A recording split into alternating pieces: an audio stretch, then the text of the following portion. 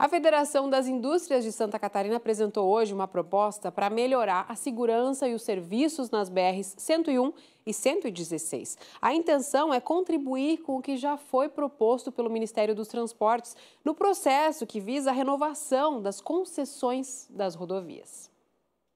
O levantamento constatou que na BR-101, desde o quilômetro zero, no norte do estado até a Grande Florianópolis, os serviços prestados na rodovia apresentam baixa qualidade.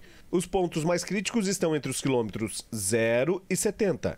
Outros pontos, até o quilômetro 245, estão nas mesmas condições. Além disso, existe a falta de transparência nas ações da concessionária. Esse estudo é fundamental para dar é, dinamicidade à nossa economia. Nós já temos prejuízo hoje de competitividade em função da precariedade da BR-101, que já está esgotada em alguns trechos. Então, precisamos discutir com a sociedade melhorias para serem implementadas no curto, no médio e longo prazo.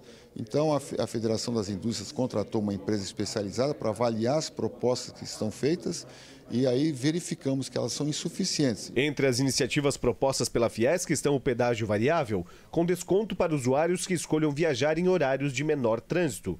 Aumento de velocidade em trechos que hoje é 100 km por hora para 110 km por hora a implantação de motoambulância e o uso de tapadeiras móveis em acidentes para o bloqueio da visão. A intenção da Fiesc é garantir novas ações numa possível renovação contratual com a Arteres. A concessão atual vence em 2033. A ideia é renovar por mais 15 anos. O estudo apresentado nesta sexta-feira em Florianópolis também será encaminhado ao Fórum Parlamentar Catarinense, que é composto por deputados federais e senadores representantes do Estado catarinense. A intenção é ampliar as discussões que iniciaram já em julho deste ano inclusive com reuniões realizadas em diversas regiões de Santa Catarina pelos parlamentares. A ideia é buscar uma solução definitiva e também a longo prazo para as BRs 101 e 116. Outro tema abordado é a via litorânea. A Fiesc apresentou o desenvolvimento da região entre os anos de 1970 e 2024.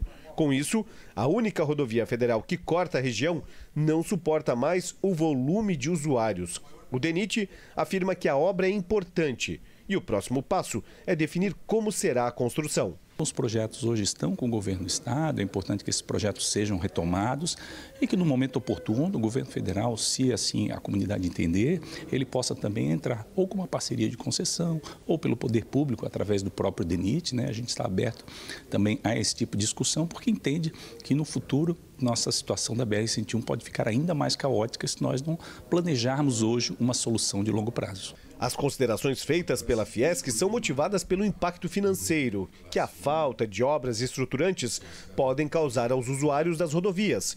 Caso haja renovação do contrato, entre os anos de 2033 e 2047, o valor estimado supera os 155 bilhões de reais. Isso inclui combustível, tempo de viagem, custo operacional e até mesmo de acidentes.